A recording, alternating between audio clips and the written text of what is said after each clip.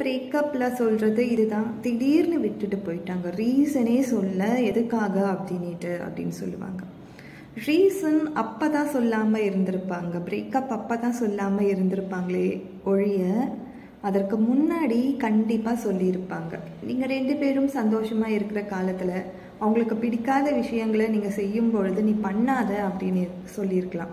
ஆனால் அதை நம்ம நோட்டீஸ் பண்ணியிருக்க மாட்டோம். நம்ம வந்து ஒரு சைல்டிஷாக ஒரு ஒரு அன்பு அதிகமாகும் பொழுது சில விஷயங்கள் வந்து நம்ம சீரியஸான விஷயங்களே நம்ம வந்து ரொம்ப சைல்டிஷாக ரொம்ப வந்து லெஸ்ஸர் வேல்யூ கொடுத்து எடுத்திருப்போம். ஆனால் அதுதான் பின்னாடி வரும்பொழுது ஒரு பெரிய ஒரு இம்பேக்டை நம்ம லைஃப்பில் க்ரியேட் பண்ணிட்டு போகிறதுக்கான சான்சஸ் அதிகமாக இருக்குது உங்கள் பார்ட்னர் ரிப்பீட்டடாக இது பிடிக்கல பண்ணாத பண்ணாத சொன்னாங்கன்னா தயவு செய்து அதை பண்ணாமல் இருக்க பாருங்கள் அதை விட்டுட்டு ஃப்ரீக்வெண்ட்டாக நான் விளையாடுறேன் அப்படின்னு சொல்லி நீங்கள் பண்ணும்பொழுது ஒவ்வொரு வாட்டியுமே அவங்களுக்கு ஹர்ட் ஆகுற மாதிரி நம்ம பண்ணிட்டு தான் இருக்கோம்.